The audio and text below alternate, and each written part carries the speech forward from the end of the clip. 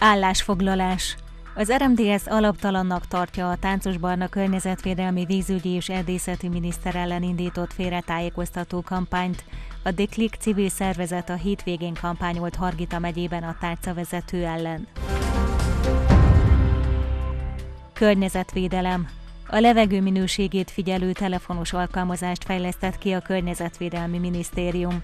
Ez egyelőre a fővárosban is környékén működik, de hamarosan az egész országra kiterjesztik.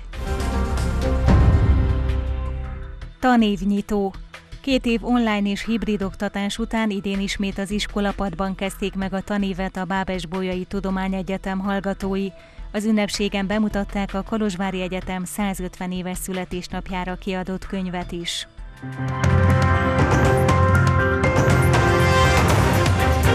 Köszöntöm Önöket, híradónkat látják!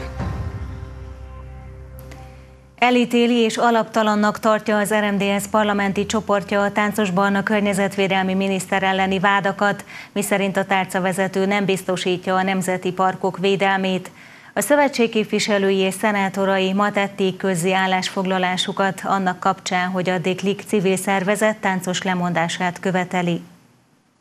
Az RMDS parlamenti csoportja elítéli és alaptalannak tartja a táncosban a környezetvédelmi vízügyi és erdészeti miniszter ellen indított félretájékoztató kampányt, amely szerint a miniszter nem biztosítja a nemzeti parkok védelmét, olvasható a szövetség mai közleményében. Táncos Barna ellen a Deklik civil szervezet indított tiltakozó akciót. A környezetvédelmi minisztert azzal vádolják, hogy nem csak a fakitermelés támogatója, de a döntései a nemzeti parkok erdeinek pusztulásához vezetnek. A magyar nyelvű propagandaanyagot is használó úgynevezett szégyenkaraván Bukarestből indult és 22 Hargita megyei települést jár be. Csoma Botond, az RMDS képviselőházi frakcióvezetője Híradongnak elmondta, személyes jellegű lejárató kampánynak tartja a megmozdulást hamis érvekkel. Csak az volt a céljuk, hogy lejárassák a, a minisztert, és nem értettük, hogy miért ebben a pillanatban jöttek elő ezzel a kérdéssel. Amikor pont Táncos Barna volt az, aki annak idején a kormányprogramban azt javasolta, hogy a természetvédelmi eh, területeken, a nemzeti parkokban ezt a védettséget a fakivágásra, vonat, a fakivágásra vonatkozó tilt tiltást, azt emeljék 75 százalékra. És most ezek a procedúrákat most próbálják érvényesíteni. A kormányprogramba foglaltak szerint elkezdődtek a szigorúan védett területek kiterjesztésére vonatkozó eljárások, így az RMDS számára érthetetlen, hogy miért volt szükség a lejárató kampányra, amikor hosszú idő után végre kimozdult az erdővédelem a holdpontról. Továbbá hosszú idő után először táncosban a mandátuma alatt sikerült a Környezetvédelmi Minisztériumnak az összes tartozást kifizetnie, és a kompenzációkat időben és napra készen törlesztenie, azaz az erdőtulajdonosokat első alkalommal kárpótolják az erdő kitermelését érintő bevétel kiesés miatt. A közleményben hangsúlyozták, az RMDS képviselői és szenátorai támogatásukról biztosítják a minisztert, aki eddigi munkája alapján az utóbbi évek legeredményesebb környezetvédelmi miniszterének bizonyult, ugyanakkor elítélik az alaptalan hazugságoktól hemzsegő és rosszindulatú hangulatkeltést. Újabb minősíthetetlen támadást intézett a magyar közösség ellen Mihály Tudószé szociáldemokrata EP képviselő. A politikus, aki miniszterelnöki mandátuma idején a székely zászlót kifüggesztő előjárók fellúgatásáról fantáziált, most a deklik aktivistákkal való találkozáskor a magyar nyelvet használó táncos Barna ellen kelt ki. Szerinte az, hogy táncos nem románul beszélt, egyenlő a lemondásával, és felszólította a hatóságokat, hogy e szerint járjanak el. Tudószé nem mulasztotta el felróni azt sem, hogy a környezetvédelmi miniszter volt annyira megátalkodott, hogy a hokisokkal együtt a székely himnuszt énekelte. A Déklik aktivistái a hétvégén magyar nyelvű szórólapokkal kampányoltak Hargita megyében Táncos Barna ellen, aki Csíkszent királyon azt mondta nekik, ha magyarul kampányolnak, akkor ismerniük kell a nyelvet, ezért magyarul szólt hozzájuk. Legtöbb 11 kal nőhetnek 2023. január 1-től a nyugdíjak, nyilatkozta Nikolai Csuka miniszterelnök. A PNL ugyanakkor a minimálbér emelését is támogatja. Lassan két hónapja zajlanak az egyeztetések a kormánykoalíciós pártok között a tervezett nyugdíjemelés kapcsán. Elsőként Máriusz Budai pénzügy és munkaügyi miniszter lebegtette meg a szándékot, ami aztán botrányt eredményezett, és a dolgok odáig fajultak, hogy a kormányfő, aki egyben a Pénili elnöke is, felelőtlennek nevezte a tárca vezető kijelentését. A szociáldemokraták több ízben is arról nyilatkoztak, hogy legkevesebb 10%-os nyugdíjemelésre van szükség, de ideális helyzetben az infláció mértékével kellene emelni az időskori juttatást. Ezt egyébként az RMDS szövetségi elnöke Keleme Hunor is alátámasztotta. A téma a Pénélé politikai bürójának legutóbbi ülésén is felmerült, az alakulat vezetőségének álláspontját Nikolai Csuka tolmácsolta a sajtónak. Uh. A Nemzeti Liberális Párton belül is tárgyaltunk a nyugdíjemelésről, és arra a következtetésre jutottunk, hogy a nyugdíjemelés nem lehet nagyobb, mint a nyugdíjalap deficitje. Éppen ezért a jelenlegi körülmények között a nyugdíjemelés felső határa 11 százalék körüli lehet. Hozzátette, a Pénélék kötelességének érzi a felelős magatartást, és olyan javaslatokkal áll elő, amelyekre valóban van fedezet az állami költségvetésben. Közölte azt is, hogy a liberálisok korábban a 3000 lej alatti nyugdíjak adómentesítését is javasolták, de ez azért nem valósult meg, mert láncreakciót váltott volna ki a nyugdíjrendszerben. Nikolai Csuka szerint a Pénélé vezetősége egyhangúan támogatta a minimálbér bruttó 3000 lejre való emelését. A levegő minőségének követésére alkalmas telefonos alkalmazást hozott létre a Környezetvédelmi Minisztérium.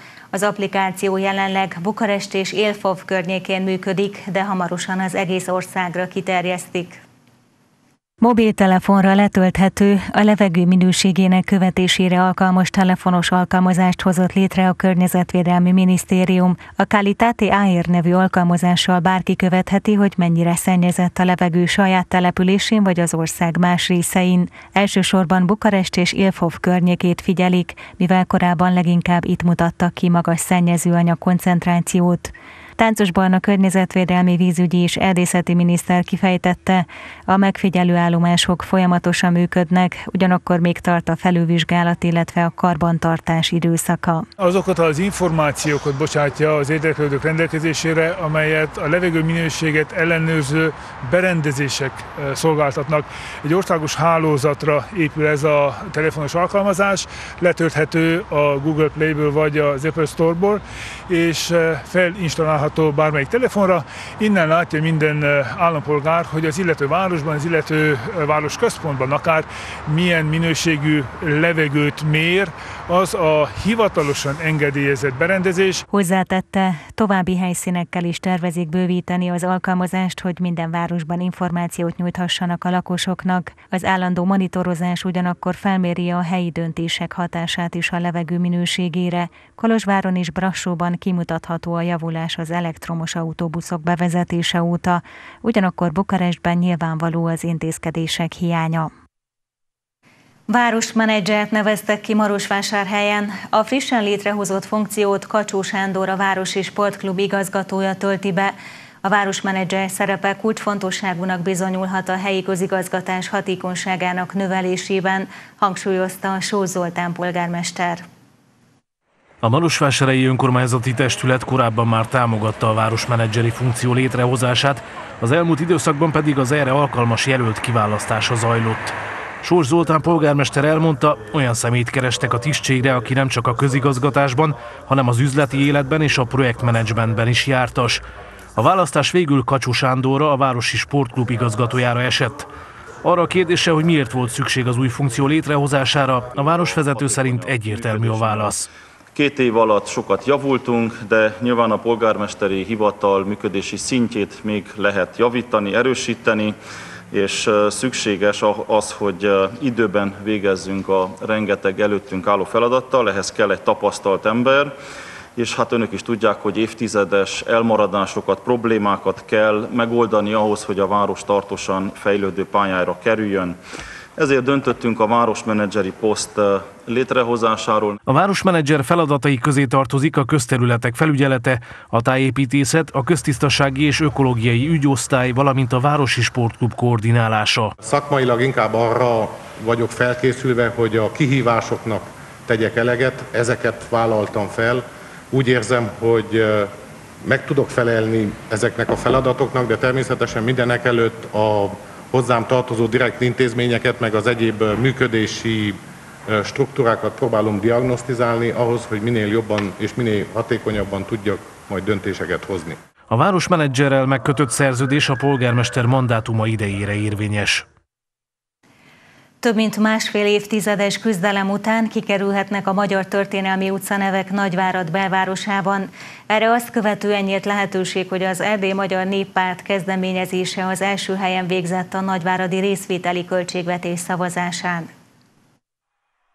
Mivel a Nagyváradi Polgármesteri Hivatal által meghirdetett részvételi költségvetési program szavazásán a benyújtott 38 projekt között első helyen végzett az Erdélyi Magyar Néppárt kezdeményezése, hamarosan kikerülhetnek a történelmi magyar utcanevek Nagyvárad belvárosában. A helyi magyar köznyelvben ma is használt történelmi utcanevek kifüggesztését több mint másfél évtizeddel ezelőtt kezdeményezték, azonban eddig a kérés nem talált meghallgatásra. Azt gondolom, hogy Várad, hál' Istennek azért azért jól áll ebből a szempontból, és a város történelme nagyon jól dokumentált, főként az elmúlt 250 év, tehát ezzel nem hiszem, hogy nehézségek legyenek. Nekünk az a célunk egyébként, hogy azt az eredeti történelmi utcanév réteget mentsük meg a közösség számára, amely akkor keletkezett, amikor még a politika nem szólt bele az utcanévadásba. Amennyiben a polgármesteri hivatal elfogadja a lakossági kezdeményezést, akkor mintegy 250 történelmi utca és térelnevezést helyezhetnek ki a közeljövőben. Az utcanevek mellett a tervek között szerepel olyan többnyelvű táblák kihelyezése is,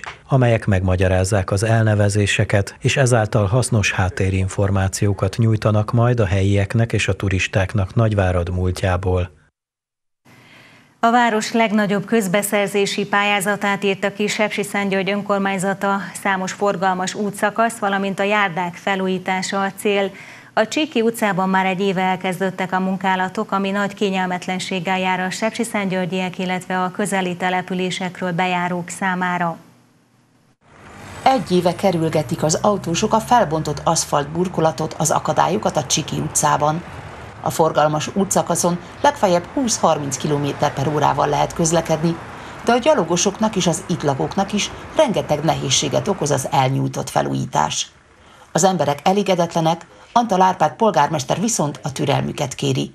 Sajtótájékoztatóján a kényelmetlenségek okát is elmagyarázta. A Csiki utcában rendkívül kényes és összetett eh, munkálatok zajlottak, sok olyan szolgáltatóval kellett dolgoznunk, amelyek nem az önkormányzat tulajdonában vannak, gondolok itt elsősorban a gázvállalatra vagy a villanyvállalatra. Mindkét esetben ragaszkodtunk ahhoz, hogy a munkálatok elkezdése előtt a teljes hálózat legyen felújítva. A gázvezetékek felújítása biztonsági okokból volt szükséges. A villanyvezetékek esetében az eddigi légi kábeleket a föld alá helyezték, esztétikai okokból is. A kényelmetlenségek ezzel azonban még nem értek véget, mert az utcaburkolat felújítása csak a közeljövőben kezdődik. Ehhez pedig közbeszerzési pályázatot kell kiírni, számos további utca felújításával közösen. A Csiki utcában a csatornahálózatot is cserélik, a közvilágítást energiatakarékos égőkkel oldják meg, és kerékpárutat is létesítenek majd. De a polgármester szerint megéri várni, mert elmondása szerint gyönyörű szép utca lesz a Csiki utca jövő év végére. Mentor programot indít a Székelyudvarhelyi Városi Kórház. A program december végén zárul, addig az egészségügyi intézmény szakemberei fogják betanítani a mentoráltakat, akiknek lehetőségük lesz megismerni a munkát, amit a későbbiekben vállalnának. Első alkalommal indít mentorprogramot a Székelyudvarhelyi Városi Kórház. A programban az asszisztensi, orvosírnoki és kisegítő személyzeti munkába kaphatnak betekintést a jelentkezők. A program december végén zárul, addig az egészségügyi intézmény szakemberei fogják betanítani a jelentkezőket. A mentorprogram célja, hogy a mentoráltak megtapasztalják, milyen az adott területen dolgozni. Tulajdonképpen ennek az a lényege, a jelentkezők megismerhetik azt, hogy milyen munka zajlik a kórházban, el tudja dönteni azt, hogy ő ezt szeretné csinálni, vagy nem szeretné csinálni. Tehát tulajdonképpen azt a jól megszokott próbaidős időszakot, ami ugye gyakorlatilag már egy állásinterjút követően szokott történni, azt előzi meg, vagy helyettesíti, azt is lehet mondani. Jelenleg nincs személyzet hiány a kórházban, de vannak olyan osztályok, ahol várhatóan új munkaerőre lesz szükség. A mentorprogram résztvevői célzottan ezeken a részlegeken kapnak képzést, mely 90%-ban gyakorlati oktatás lesz. A programra az is jelentkezhet, aki még nem fejezte be tanulmányait, a hallgatói státusz tehát nem kizáró ok. Az előzetes képzés sem feltétel, a munkaprogram pedig rugalmasan igazodik az igényekhez. A program végén a kórház helyettesítői és végleges állásokra is versenyvizsgát ír ki, amelynek során előnyt élveznek majd a programban résztvevő és jól teljesítő jelentkezők. Több mint két év online, illetve hibrid oktatás után újra az egyetem padjaiban kezdhetik a tanévet a Bábes Bolyai Tudományegyetem hallgatói. A tanévnyitó ünnepségen bemutatták az egyetem alapításáról szóló könyvet. Hétfő délután ünnepélyesen megnyitotta az új tanévet a Bábes Bolyai Tudományegyetem. Az idei tanévnyitó két szempontból is különleges volt. Az utóbbi két évben online, illetve hibrid oktatás zajlott, így ünnep volt a viszontlátás.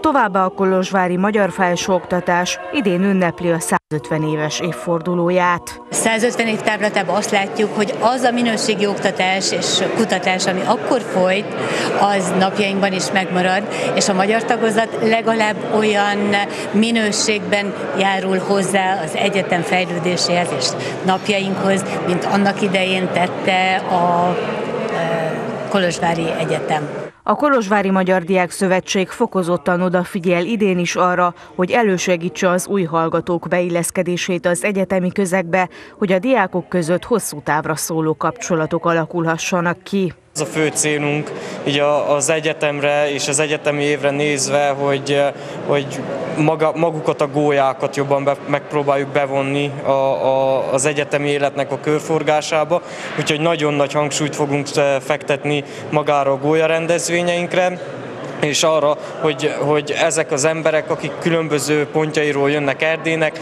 tudjanak találkozni, és nagyon hosszú távú barátságokat tudjanak kötetni. A megnyitón Gál György bemutatta a Kolozsvári Egyetem alapításának forrásai és sajtóvízhangja című könyvet, a résztvevők pedig megtekinthették a vízhang kórus előadását.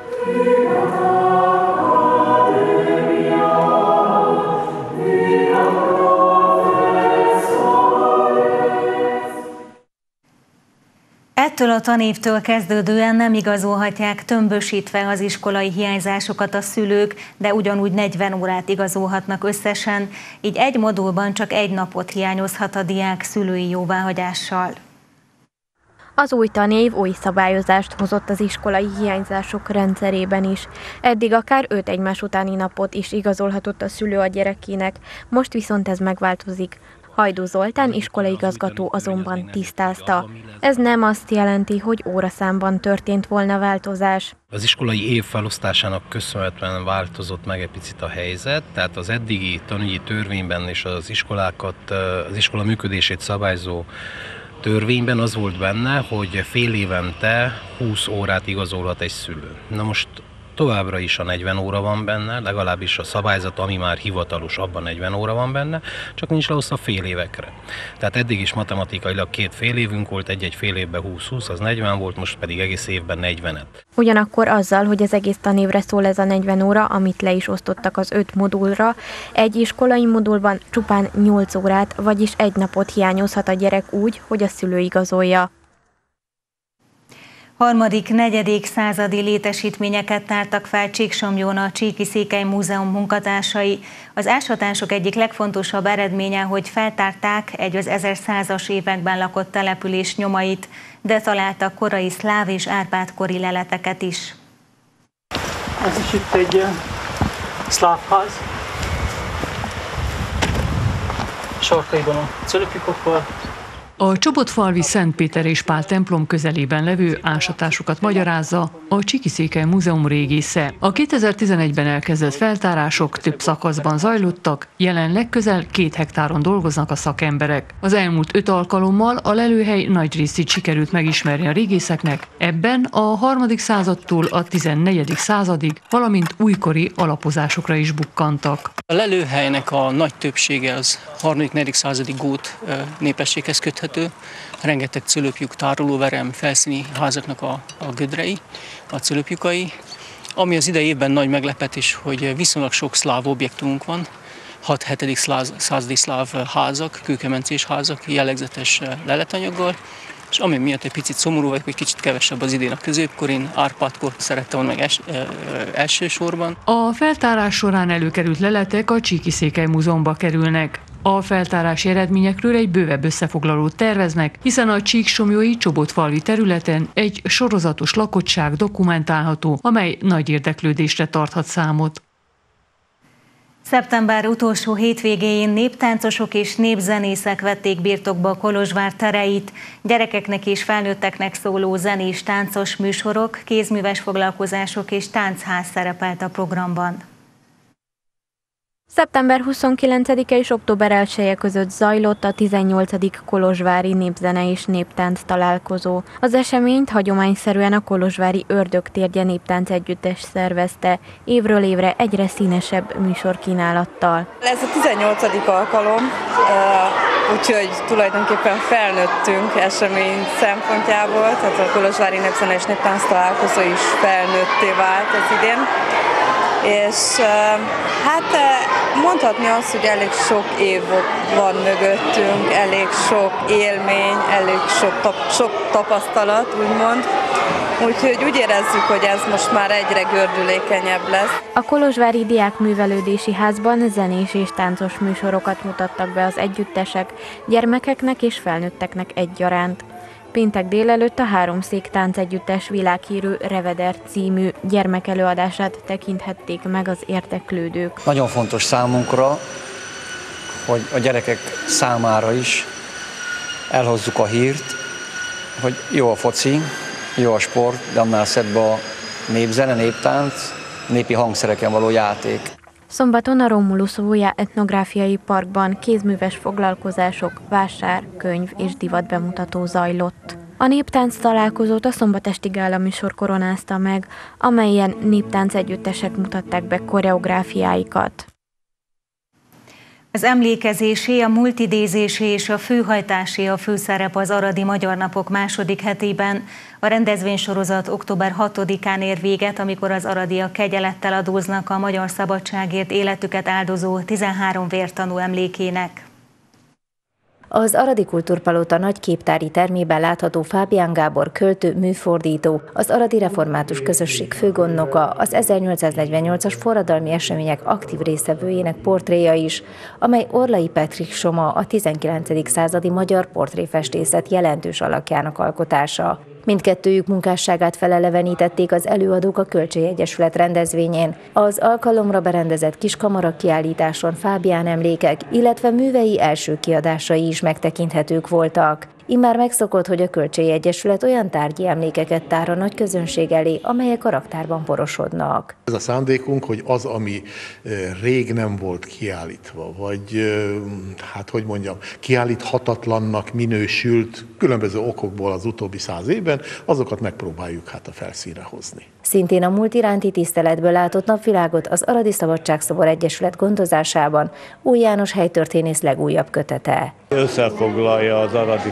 felekezeteknek nem csak az épületeit, hanem a benne folyó vallásos életet, a közösségnek a megszervezését. Nagyon sok múltbeli utalása van a könyvnek, régebbi tisztelendőkről, tiszteletesekről. A kisebbségi felekezetek templomai, zsinagógái, imaházai, Aradon című kötet több évtizedes gyűjtőmunka eredménye. Ne gondolja senki, hogy én ezt 50 évig egyfolytában csináltam, hanem az első információk, amelyek Aradról, az aradi templomokról, az aradi felekezetekről vannak, azok az én jegyzeteimben, az kb. 50 évvel ezelőtt születtek és azóta én folytonosan gyűjtöttem. Szerdán este Márai Sándor a Gyertyák Csonkig égnek című regényéből láthat színházi előadást az Aradi Magyarság. Október 6-án délután pedig ökumenikus imát tartanak az aradi vértanúk emlékére, majd koszorúkat helyeznek el a vesztőhelyen és a szabadságszobornál. A sportklub nyerte az erdélyi rangadót, sporttal folytatjuk.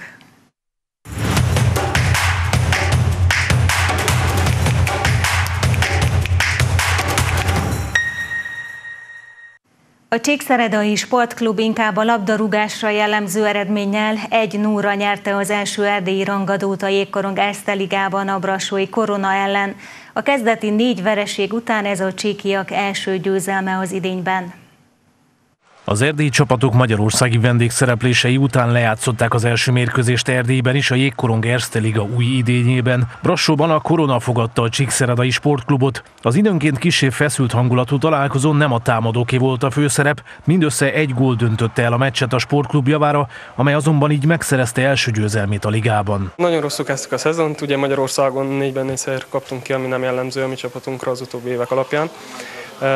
Nagyon sok hovát elkövettünk odakint, és amikor hazajöttünk, arról beszéltünk, hogy ha ki is kapunk, legalább szívünk, lelkünk adjuk oda, és úgy érzem, hogy a mai meccs mindenki mindent beleadott egy nagyon jó kapus teljesítménnyel, és azon kívül, hogy még a játékunk mindig nem az igazi, az ember előnyünk, még mindig nem találtunk be ebbe a szezonba, mindenki beleadott mindent, és nagyon örülünk, hogy itt a Derbin Brassóba el tudtuk vinni a három pontot. A brassóiak úgy értékelték, hogy amennyiben képtelenek kihasználni a lehetőségeket, nem is várható a siker. Sajnos azokat a helyzeteket, amiket kialakítottunk, illetve a létszámfölényes helyzetek, emberelőnyök, kétszer is volt öt a hármunk, nem sikerült egyiket se belőni azokra a meccseken, ahol, ahol nem értékesíted ezeket a, a fontos szituációban lévő gólhelyzeteket, nem fogsz nyerni. Az Erste Ligában az erdélyi csapatok a hétvégén két-két hazai mérkőzést játszanak magyarországi ellenfelekkel, majd október 16-án jön az újabb erdélyi rangadó a Korona és a Gyergyói Hoki Klub között.